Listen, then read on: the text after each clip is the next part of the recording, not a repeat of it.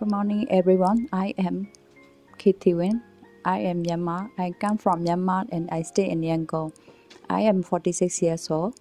I am nursing aide. I uh, work in Active Global Specialized Caregiver. I have two, one sister and mother. They stay in Myanmar. Uh, they are not working, so I look after my mom and my sisters. I like the nursing job, so I come to Singapore and work here and at the Global. Uh, all the Singaporean people are nice and very kind also. Then salary also different than our country. So I enjoy and come here to work. Now I look after the Chinese lady. She is a 68 years old. She is a cancer patient. She is a CA traumat.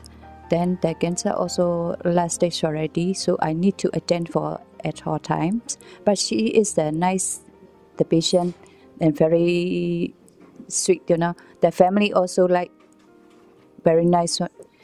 She also, as like the daughter, I also like my mom. She's a very nice one. I communication with the Chinese also because some old people uh, cannot speak English, uh, so we need to speak uh, Chinese uh, dialect a lot Chinese, uh, but I, I can speak only the Mandarin. So for example, uh, 你好，啊、今天怎么样？你好吗？